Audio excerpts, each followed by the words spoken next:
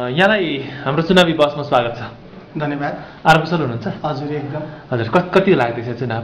चुनाव एकदम व्यापक लागेको छ। हजुर। अब यो उन्नाइस वर्ष पछाडिको एउटा चुनाव हो। हजुर।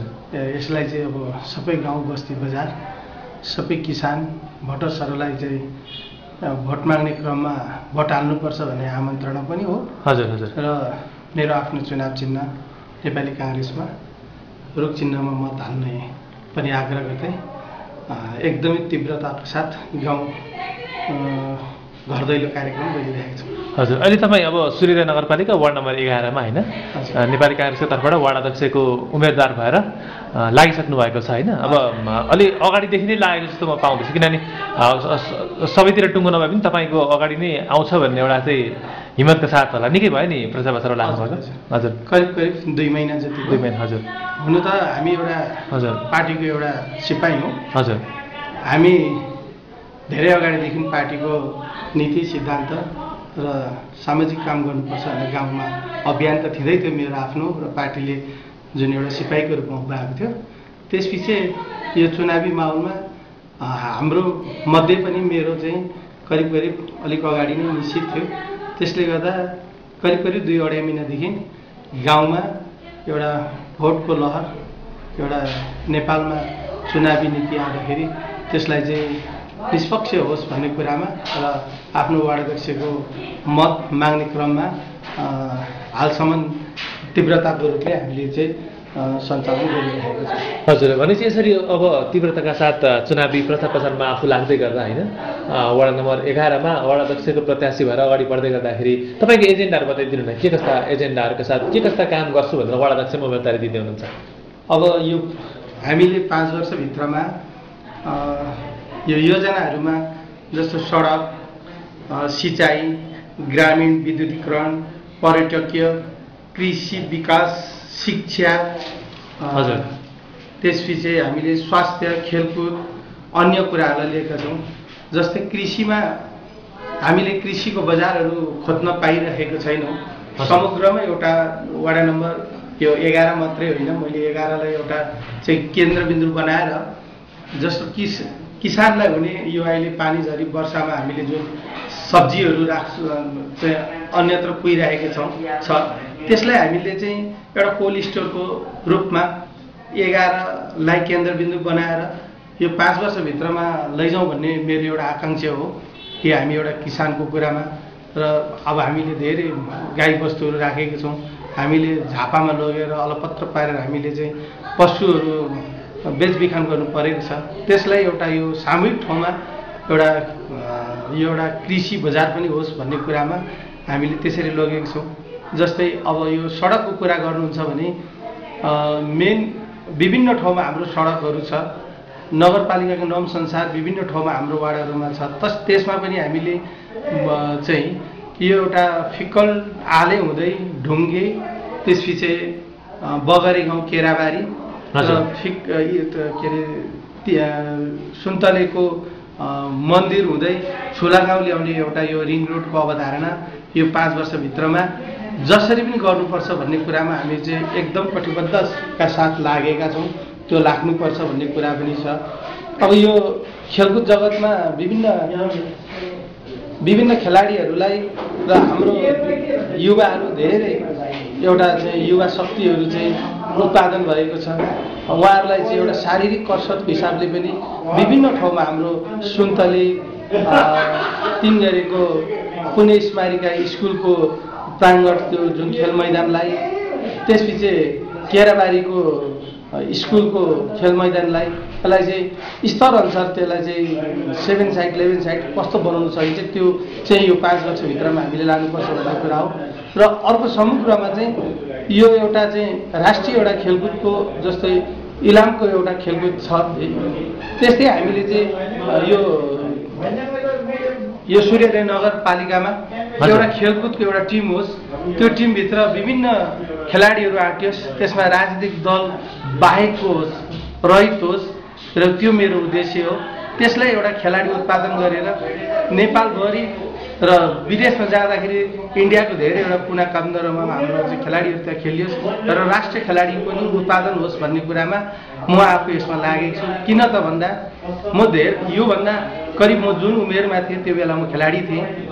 त्यो टाइममा हामीलाई खेलकुद जगतमा एकदमै हामीलाई बाइपास गरेर हामी एउटा चाहिँ ढोकामा बस्न पऱ्यो एउटा गाउँमा बस्न पऱ्यो अबको युवा चाहिँ त्यस्तो नहोस् कि जहाँ चाहिँ गेम खेलेर एउटा आफ्नो ठाउँको आफ्नो एउटा यो सूर्योदय नगरपालिकाको पनि नाम रहोस् हजुर। भन्ने उद्देश्यले यो मेरो चाहिँ वार्डमा मात्रै नभएर यो मेरो चाहिँ चाहना भनेको चौधवटा वार्डमा नगरकै खेलाडी- विकास, हजुर। हजुर त्यो होस् भन्ने कुरामा म चाहिँ यसको चाहिँ एकदमै लडिरहनुको लागि युवाहरूलाई एक होस् र युवाहरू शक्ति होस् र त्यो युवाहरूले मलाई सहयोग गर्नुपर्छ भन्ने कुरामा म विनम्र अनुरोध पनि उहाँहरूलाई गर्दछु यो एउटा खेलकुद जगतमा जाने कुराहरूमा। तपाईँको बिजुलीको कुराहरू हामीले हेरेको छौँ गाउँ गाउँमा बिजुलीहरू चाहिँ यत्र त्यत्र चाहिँ भाँचिएर चिलाउनेको खम्बाहरू राखिएको छ हामीले केही कुराहरू चाहिँ निवेदनको साथ टक्राएका छौँ।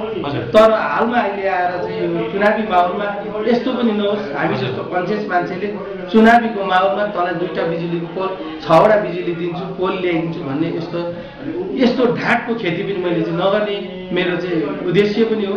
मैले चुनाव पछाडि मैले जित्दा यो अधिकांश मेरो वार्डमा छुट्टिएका जति बिजुलीको भइरहेको यो अलपत्र परेको बिजुलीको तारहरूलाई व्यवस्थापन गर्नुको निमित्त र कति ठाउँमा बिजुली नभएको ठाउँमा चाहिँ त्यसलाई विस्तार गर्नुको निमित्त म दिनरात लागेको छु। मैले धेरै ठाउँमा टिप्पण उठाएको छु। तर मैले अहिले यो चुनावको बिचमा म बोल्दिनँ। मैले चुनाव पछाडि मैले जित्दा पनि म यो काम गर्ने मेरो यो पूर्ण रूपले यसमा म लाग्छु। मैले हार्दा पनि मेरो एउटा म पार्टीको सिपाही हो। मेरो पछाडि मेरो आउने कोही साथीले अर्को दलको साथीले जितेर जानुभयो भने पनि त्यो त्यसलाई ढकढक गर्ने काम मेरोबाट हन्ड्रेडमा हन्ड्रेड हुन्छ।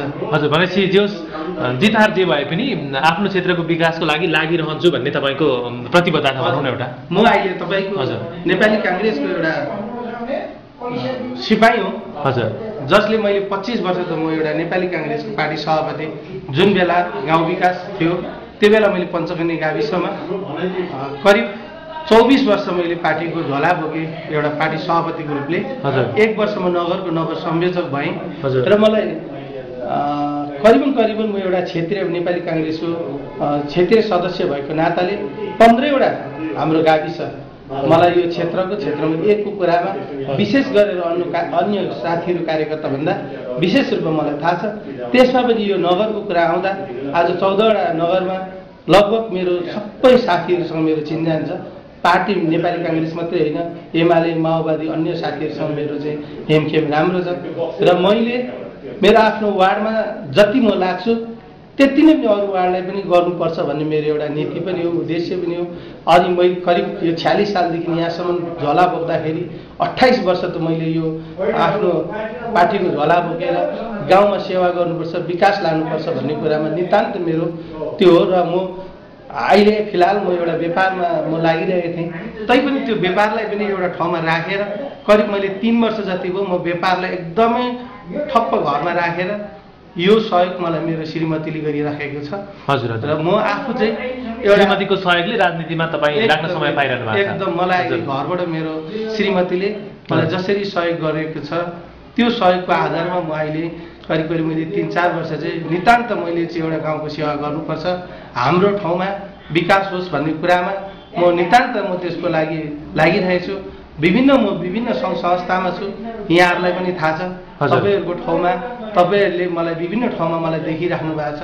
जहाँ म राष्ट्रिय वन पैदावार केन्द्र कार्यालयको म अध्यक्ष जहाँ चाहिँ यो राष्ट्रभरिको कुकाटको निमित्त म चाहिँ लागिरहेको छु यी मैले ढाँट्ने कुरा गरेको छुइनँ। हेर्नुहोस् करिब करिब मेरो अहिले हिजोअस्ति केही महिना अगाडि पनि हजुर। पन्ध्रवटा चाहिँ जिल्लामा एउटा आन्दोलनको रूपमा एउटा व्यापारीले एउटा व्यवसायीले निष्पक्ष काम गर्नु पाउँछ सुरक्षित काम गर्नु पाओस् भन्ने उद्देश्यले पनि मैले राष्ट्रव्यापी एकचोटि आन्दोलन गरेँ। विभिन्न मेरो एफएमहरू पत्र पत्रिकाहरूसँग पनि त्यहाँ आइरहेको छ। आएको थियो त्यतिखेर। हामीले पनि न्युजहरू बनाएको थियौँ कि? अब हजुर। त्यसपछि म एउटा यो फिक्कलको अहिले सूर्योदय जिप तथा ट्याक्सीको चाहिँ एउटा अध्यक्ष पनि हो। पहिला चाहिँ पूर्वेली ट्याक्सीको अध्यक्ष फिक्कलमा थिएँ। त्यसपछि त्यसलाई अपग्रेड गरेर अहिले मैले सूर्योदय जिप तथा ट्याक्सी व्यवसाय दर्ता गरेको छु। त्यसमा पनि मैले निरन्तरता जहाँ चाहिँ एउटा व्यावसायिक रूपले त्यसलाई चाहिँ चाहिँ एउटा लक्ष्यमा पुर्याउने र फेरि हाम्रो यात्रुहरूलाई गन्तव्यसम्म पुर्याउने पनि हाम्रो एउटा चाहिँ लक्ष्य हो। त्यसलाई त्यो साथसाथै एउटा त्यो विकास पनि यो एउटा हाम्रो सूर्यदय नगरपालिकाले टेवा पुगोस् भन्ने खातिर मैले एउटा सङ्घ संस्था एउटा राजनीतिक दलबाट विभिन्न ठाउँबाट मैले चाहिँ यो करिब करिब चार तिन चार वर्ष चाहिँ मैले लग निरन्तरता मेरो यसमा लगानी गरिरहेको छु। हजुर हजुर। भनेपछि जोस् तपाईँ यसभन्दा अगाडिदेखि नै सामाजिक कार्यमा त सक्रिय हुनुहुन्थ्यो होइन? अब वन पैदावारदेखि लिएर अन्य विभिन्न सङ्घ संस्थाहरूमा लागेको र ती समाचार त हामीले पनि बनाउँदै आएकै हौँ होइन? त्यसबाट पनि तपाईँलाई चाहिँ चुनावी प्रचार प्रसार लगायतमा सहजै होला। ती सम्पूर्ण ब्याकग्राउन्डले अलिकति सहज बनाएको छ होला। हजुर। अब यो अहिले विभिन्न यो सङ्घ संस्थामा मैले जुन काम गरेँ हजुर। यदि मैले त्यो बिचमा भ्रष्टाचार गरेको भए यदि मैले त्यो बिचमा व्यावसायिक हिसाब किताबले मैले चाहिँ कतै हिनामिना गरेको भए त म आज पक्कै पनि त्यो ठाउँबाट मैले हात जोडेर पाखा लाग्नु पर्थ्यो। भ्रष्टाचार चाहिँ विरुद्ध हजुर। र भ्रष्टाचारको निर्मूल हुनुपर्छ भन्ने कुरामा मेरो फर्स्ट उद्देश्य पनि हो। मैले आउने हाम्रो यो संस्थामा पनि म साथीहरूलाई त्यही भन्छु भने अहिले म जुन ठाउँमा मलाई पार्टीले उभ्याएर एउटा अध्यक्षमा लागेको चाहिँ उम्मेदवारी चिन्ह चाहिँ प्रत्याशीमा चाहिँ एउटा उम्मेदवारी भएर म गाउँमा गएको छु। मेरो अहिले जाने पनि मेरो त्यही हो। मैले पहिला मेरो भनाइ पनि त्यही छ। हिनामिना हुनु हुँदैन।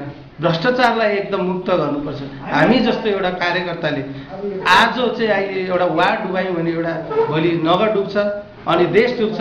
हामी जस्तो एउटा युवाले एउटा चाहिँ यो भ्रष्टाचारलाई चाहिँ निर्मूल पार्नुपर्छ भन्ने कुरामा मेरो चाहिँ हन्ड्रेडमा हन्ड्रेड समर्थन र भोलि मैले जितेर गएको खण्डमा पनि मैले वार्डदेखि नगरको एउटा मेरो एउटा चेयर बेन्चसम्म आउने क्रममा त्यहाँका मेरो विभिन्न पार्टीहरूले जितेर आउने नेपाली काङ्ग्रेस होस् एमाले होस् अन्य साथीहरू त्यहाँ जितेर मभन्दा मात्र तहमा आउने अथवा हामी एउटा सहयात्री भएर आउने साथीहरूलाई त्यो खबरदारी गर्ने काममा पनि मैले अलिकति अनुभव गरे अनुसारले म चाहिँ यो कुरामा निरन्तरता दिनेछु। हजुर हजुर। अनि अहिले प्रचार प्रसार लगायतको काम चाहिँ कसरी गर्दै हुन्छ भने त तपाईँ दुई महिनादेखि नै मसँग करिब डेढ डेढ दुई महिना अगाडि भेट्दा पनि मेरो प्रचार प्रचार चलिरहेछ नि भन्नुहुन्थ्यो होइन। अगाडिदेखि लानु भएको थियो। अहिले कसरी चलाउँदै हुनुहुन्छ? अब हेर्नुहोस्। हजुर। देख्दा मलाई विभिन्न सङ्घ संस्थामा देख्दाखेरि हजुर। अब धेरै कुराहरू आउँछ। होला तर म मेरो हेर्नु सरल सरल त छ हजुर। मलाई त्यस्तो त्यो अलिक हाइफाई गरेर हिँड्नु पनि छैन। जुत्ता चप्ली विशेष गरेर म यस्तै मैले कालो झोला बोकेको छु। गाउँमा जाँदा मसँग एउटा मोटरसाइकल छ। गाउँमा जाँदाखेरि त्यस्तो आइ अरू साथीहरूले जस्तो अरू विभिन्न किसिमका अहिले चुनावी हल्लाहरू आएको छ होइन? यो खा